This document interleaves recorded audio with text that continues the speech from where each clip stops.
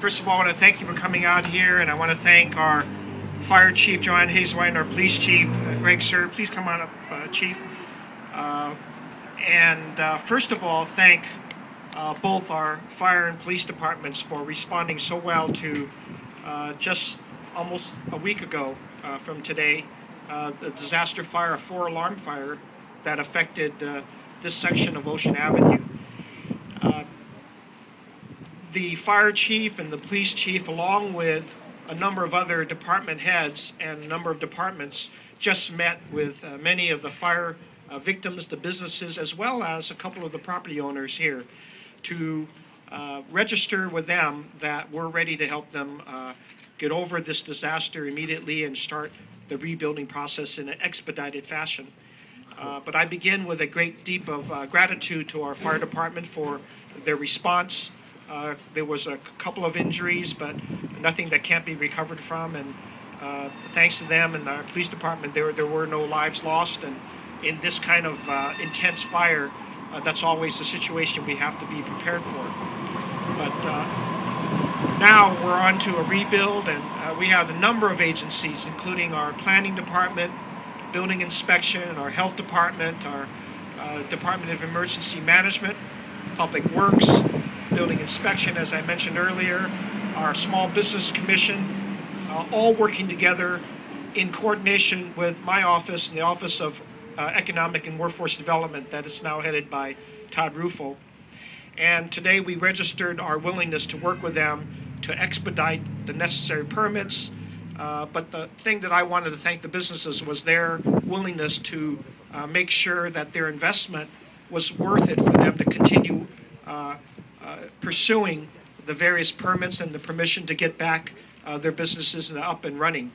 And it's a challenge for uh, any of these fire victims to really get out of the misery that this tragedy causes them and get on with uh, rebuilding of their businesses and in coordination with the others.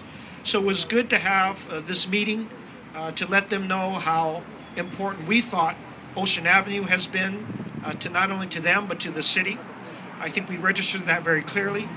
And we also wanted to give them a sense of how willing we were to get things on the fast track.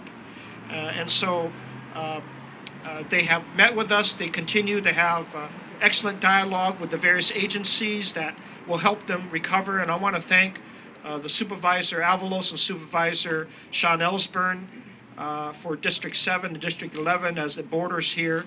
Uh, their cooperation in making sure that they communicate to their interests in supporting all the small businesses along here recover. We are also extending recovery right to not only the business owners and the property owners, but also to the very employees who now may be challenged with their economics. And so we're going to assist uh, the individual employees who may have lost a job, either temporarily or for the long term, to assist them in getting jobs in the city uh, and get them on to economic recovery at the same time. As you know, I've been very interested uh, as I've been uh, both the interim and the now elected mayor of the city that I've always wanted to be prepared for disaster, making sure the city is ready. Uh, this uh, coordination that we're having is somewhat unprecedented in my opinion, but one that I feel is appropriate for people who face disaster. We want them to feel uh, that the city wants them to recover very quickly. Uh, it is tough enough to be a victim of this fire. It is tougher if we hear that people are further victimized if they have a bureaucracy in the city that isn't sensitive to this, uh, that isn't supporting their their own uh, effort to recover. So I don't ever want them to feel that way. Uh, I, I think that it's already hard enough to recover, and so we need to make it a little easier for them, whether it's a building permit, a planning process, uh, working with public works, working with public health to uh, if there's any food establishments here, how they can get uh, everything from air vents to approvals uh, in the way. Uh, much of their challenge right now will be with the insurance companies and the property owners first, because unless and until they give permission and they get all of their uh, insurance in line, uh, they can't tell the small business owners how quickly they can apply for their permits to get back their businesses. And so uh, some of the businesses are still feeling a little bit weary about that because they may or may not have the, uh, the tight relationships that we have. And this is why we had this meeting to encourage the property owners that they've got a city backing them on a strong, quick recovery so they can then talk to their small businesses and feel the same way. Uh, we uh, have a official police, uh, official fire investigation report that is being shared with them so they can get their insurance companies onto this effort.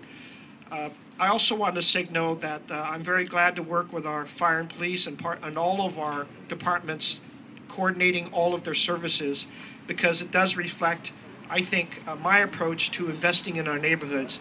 And we don't want them to ever feel that uh, just because it's out here in Ocean Avenue that the city doesn't care. We do care. We care greatly about these small businesses.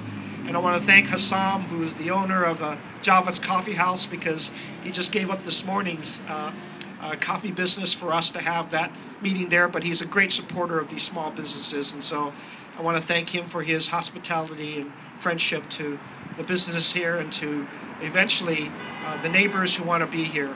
We've invested a lot in Ocean Avenue in the last few years. We've got an Ingleside branch, a library opened up. I was personally here to do that.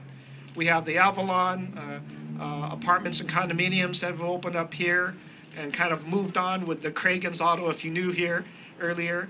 Uh, we're working uh, with our Invest in Neighborhood strategy to uh, make sure there's uh, less storefronts that have vacancies along this way.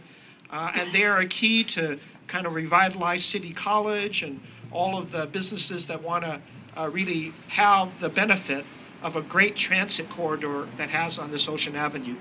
And I reminded everybody this morning that I was working here with Dan Weaver way back in DPW days, scraping off the graffiti off these poles as evidence is that uh, I wanted this neighborhood uh, really feeling uh, a, vi- a vibrancy. And they did all the work they have. This is one of the key neighborhoods that now have a community benefits district. They personally invested uh, in their own monies to help revitalize this area. So I want to honor that. I want to honor the businesses with their personal investments, the property owners with their personal investments, with a strong support from the city.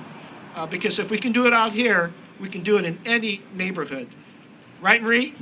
Yes. Uh, so thank you for uh, listening to us and for uh, evidencing the communications that we need to have. If there's uh, comments from our uh, fire chief or police chief, uh, I welcome that as well, and then we can take questions.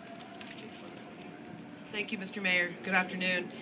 Uh, Joanne Hayes White with the Fire Department. Just, uh, I thought it was great that we did have the opportunity to provide additional information and some closure to the business owners here uh, with the meeting that the mayor convened this morning. Uh, we did have our hands full, like I said, to the to the merchants last Monday on the 6th. Uh, we got a call at about 10 minutes of 6 a.m.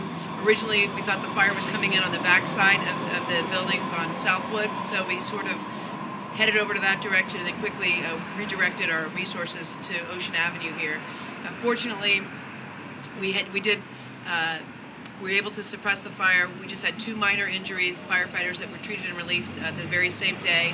Uh, the crews that were here, we had about 140 personnel, uh, faced 10 buildings that that were involved in this fire. So we're grateful that there was no loss of life or major injury, and now it's about, as Mr. Mayor said, uh, rebuilding, getting these businesses back on track and back in business. And I will say, having gone through this time after time, uh, this is an excellent display of the city coordinating to not only provide the emergency services but also the recovery services. And I think, uh, you know, Mayor Lee, under your leadership, we're all working together even more closely to be of greater service to, to the citizens that we serve. So thank you, and I'm happy to answer any questions at the conclusion of this as well. Thank you.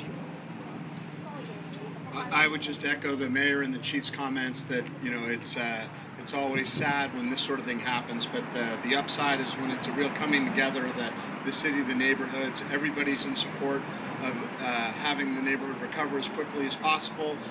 As you can see, the businesses have been secured. The police presence is stepped up in the neighborhood, and DEM will be expediting any calls to the neighborhood. If anybody sees something uh, where someone might want to take advantage of this, sadly that happens from time to time, please call and the police department will expedite the response. And Todd, uh, I've asked Todd, who is our new head of our Office in Workforce and Economic Development, to coordinate all of the different services reflective uh, of, of the city permit process to get these businesses back uh, running up. So Todd, please. Thank you, Mayor. Todd Rufo with the Office of Economic and Workforce Development. The day of the fire, the Office of Economic and Workforce Development had staff out to meet with business owners, and we've had subsequent meetings uh, almost every day since then uh, to share with them information that we had to understand what their needs were and to develop a strategy and a response for the business recovery for those businesses. And so, uh, one of the things that the Office of Economic Workforce Development, uh, with Krizia Tano, who's here today, who's leading point to support and interface with the businesses and coordinate the city's business recovery uh, with all the departments here today, um, as well as Jane Gong from the Office of Small Business. O- Office of Workforce Development will remain highly engaged uh, and uh, work with the businesses for their continued recovery. Um, to the mayor's point, you know, this is a uh, highly coordinated effort between city departments in the city, uh, between planning, Department of Building Investigation, uh, as well as Department of Public Health to ensure that these businesses are up and running as soon as possible. Thank you, Uh, Thank you Supervisor Olague for being here as well. I Appreciate your, your attention to this, and you're a big supporter of small businesses too. We handed out uh, a whole list to every business today, this morning, of every contact of every department, both emails and uh, cell phone numbers, so they have a point of contact. Uh, And uh, we're beginning this process immediately for recovery. As I said earlier, people will have faith in this city after a disaster if they have a city that welcomes their business back in, welcomes their lives back in. So we're going to do everything we can to help not only the business owners, but their employees who have probably lost their income for quite some months. Uh, so with that, I'd be glad to answer any questions people have. Is there anything on the? Is there anything You're gonna have to yell it out. So Is there anything on the cause of the fire yet? cause of the fire. Uh, yes, uh, we have our fire marshal here too, Tom Harvey. He oversees our Bureau of Fire Prevention and Investigation, and uh, we have a joint arson task force. Uh, we have joined it with members not only the fire department but the police department, and we can say uh, with certainty that this was a, a fire caused accidentally due to some roofing work that had been done in previous days up to the to the fire. Mayor, my understanding is uh, that building there dates back to the 20s. It'll have to be demolished now, completely rebuilt. Can you talk about the ex- expediting the rebuild process? Uh, David Stevens' question was that uh, one of the buildings was pretty much uh, uh, completely damaged, will, will have to be demolished first, and then uh, how fast can we get that building up? And a lot of it, uh, John will tell you, depends upon the owner's plans, whether they want to keep it the way it was or change the design and add more space. Uh, John Rahaim, the director of planning. Thank you, Mr. Mayor. Um, yeah, the, the answer is that it, if they want to rebuild it uh, essentially in the same shape and size that it is today, that can happen quite quickly. There is no notification process. There's no hearing process. There's uh, that can happen uh, pretty quickly. If they want to add to the building, then we'd have to take a, uh, a, a stronger look at it to see if the building is bigger than it is today. But to rebuild what's there can be done fairly quickly. And of course, that music is part of the flavor of Ocean Avenue. Last question, anybody else? Thank you. Thank you, everybody. Thank you, the businesses. We'll be back here to